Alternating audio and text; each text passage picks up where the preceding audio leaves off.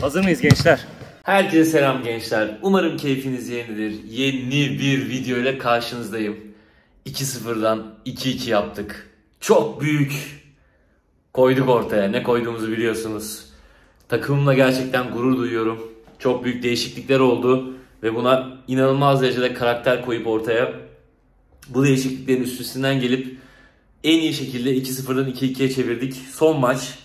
Bunu kazanan lige çıkıyor. Yani kariyerimde oynadığım en önemli maçlardan bir tanesi diyebilirim. Bana hep soruyorsunuz abi en önemli maç ne ve en mutlu olduğum maç ne olur diye. O maç bu maç olur. Şimdi antrenmana geçiyorum. Kampa gireceğiz bu maç için. Bir kamp yapacağız küçük. Beraber otelde kalacağız. Ondan sonra ertesi günde maçımızı oynayacağız. Şimdi idmana geçelim. Geldik. Sokman lazım. Aa, olmadı. Hey koç. Şimdi tabii bu video olduğunda bu olayların hepsi çoktan bitmiş olacak ama şöyle çirkin oyunlar başlamış. Algı operasyonları. Ee, 2-0 öndeyken gıkı çıkmayan kulüp bir anda 2-2 olduğunda e, yok şöyle oldu ikinci maçtan sonra böyle oldu falan filan diye kamuoyuna bir algı yapmaya çalışıyor. E neredeydiniz abi o zaman? Maç sonunda direkt yapsaydınız 2-2 olana kadar bir hafta geçti. Niye o zamanlar kimsenin sesi çıkmıyordu? Bana çok komik geliyor böyle hareketler. O yüzden biz bangır bangır geleceğiz. Çok güzel bir or- organizasyon olacak. Çok güzel bir şekilde cumartesi günü maçı kazanacağımıza inanıyorum. İnşallah. İnşallah diyeyim. Şu ana kadar hep inşallah dedim. Yine inşallah diyelim. İnşallah kazanacağız. Ve bir üst lige TBR'ye hak ettiğimiz yere bir adım daha atmış olacağız. Daha doğrusu oraya çıkmış olacağız. Sadece şampiyon, şampiyonluğa bir adım kalmış olacak. Bu şampiyonluğu da almak için elimizden gelen her şeyi yapacağız. Beyler rahat olun. Evet. Yine otele gidiyoruz. Son otel değilmiş geçen video. Bir otel daha var gençler. Zor otellere doyum olmadı. Bin tane otel gördük bakalım. Bu seferki otel geçebilecek mi? En son 10'da 10'la kapatmıştık. Bakalım şimdi ne olacak.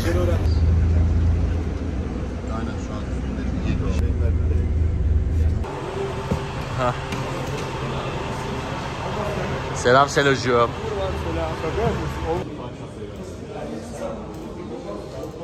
Evet bir sürü skandal var. O skandallar netleşmediği için çok bir şey söyleyemeyeceğim. Bir şeyler söyledim ama onun üzerinde bir sürü şeyler çıktı. Ne olacak bilmiyoruz. Anlatacağım. Ha, fena değilmiş. Coffee breaks. Kutuya geçmiş olsun dileğin. Geçmiş olsun kutuya.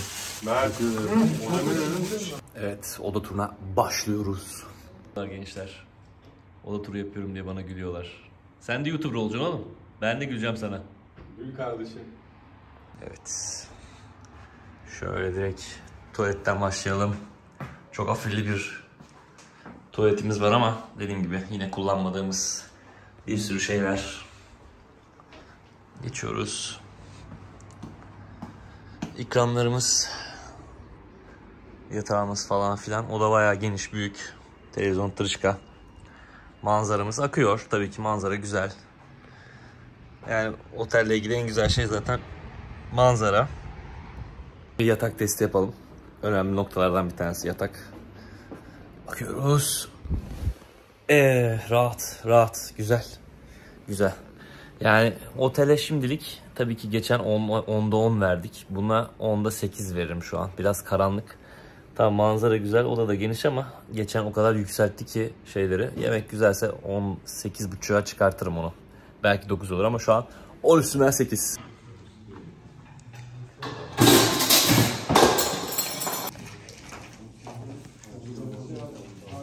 maça indirdi. Alparslan var sırtında. Vladimir Stimaç. Akın.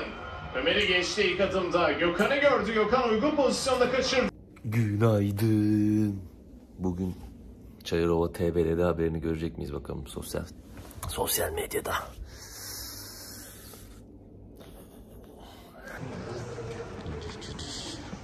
Takımdaşlık ya maşallah sabah sabah.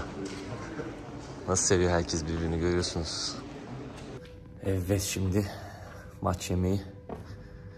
Normalde sabah kahvaltı ederdim ama böyle maç yemeği olduğu zaman kahvaltı etmiyorum. Bak zaten kahvaltı ettim hiç kimse acıkmamış. Ben ama kurt gibi açım şu an. Güzel bir yemek, üstü hazırlık. Bu arada otele 10 üstünden 8 vermiştim. Yemekler ve diğer gördüğüm şeylerle bunu düşürüyorum. 10 üstünden 7'ye indirdim. Konuşmadık da 50 Emir var bizim ortak arkadaşımız. Uzun süredir bir maç için bu kadar heyecanlanmamıştım cidden. Bu iyi bir heyecan tabii ki bu kötü bir heyecan değil. Bu video birazcık fazla konuşuyorum. Sizinle bu süreci böyle beraber geçirmeye uğraşıyorum. Belki heyecanım da azalır birazcık daha diye. Bu arada dördüncü maçın editinde bu sırada yapıyorum keyifli keyifli. Normalde aslında ikinci, üçüncü maçın da yaptım. Çoktan paylaştım bile hatta da açmadım onları da açacağım. Sadece şu maçın sonuçlanmasını bekliyorum. Sosyal medyadan da bana bir sürü abuk sabuk yazanlar var. Yok kötüsün yok bilmem nesin carçurt diye. Onları da dördüncü maçta gördük zaten. Sağ olsun bir tane çocuk dördüncü maç beni öyle gaza getirdi ki kenardan bana devam bir şeyler söyledi söyledi söyledi. Vallahi onunla beraber iyice bir gaza geldim. Bu maç ama sadece o gaz yetmez. Bakalım neler olacak. Dediğim gibi o manipülasyon durumlarına çok iyi bir karşılık vermemiz lazım. Geri de düşebiliriz maçta. Bu olabilir. Geçen maç 13-0 başladık mesela. Sonra 17-2'lik bir seri yaptık. Öyle şeyler de olabilir yani. O yüzden hmm, bu maç geride düşsek, ileri de çıksak 20-30 sayıyla fark etmez yani. 60 yapabilsek 60-70 yapabilsek 70 olması lazım. Kırıp geçmemiz lazım. Hakemlerin müdahale edebileceği bir nokta olmaması gerekiyor. Yani oraya bırakırsak orada da işimiz yine zor. O noktaya da gelmemiz lazım. O yüzden bakalım ya. Böyle maçlar keyifli oluyor. Zaten Çayırova'da da baya bir organizasyon, dışarıya dev ekran vesaire falan filan varmış. Onları da çekebilirsem çekerim. İnşallah şarjım yeter bütün her şeyi çekmeye. Kazanırsak çünkü çok uzun çekimler yapmam gerekecek. Bakalım bilmiyorum. Bütün maçı da çekeceğim için aynı anda. Heyecanlıyım ya. İnşallah hayırlısı olur.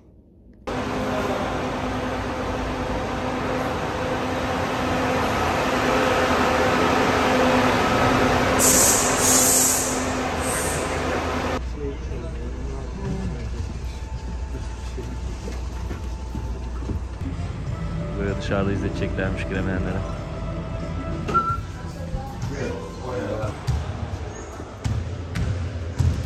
Evet. Hadi bakayım son kez.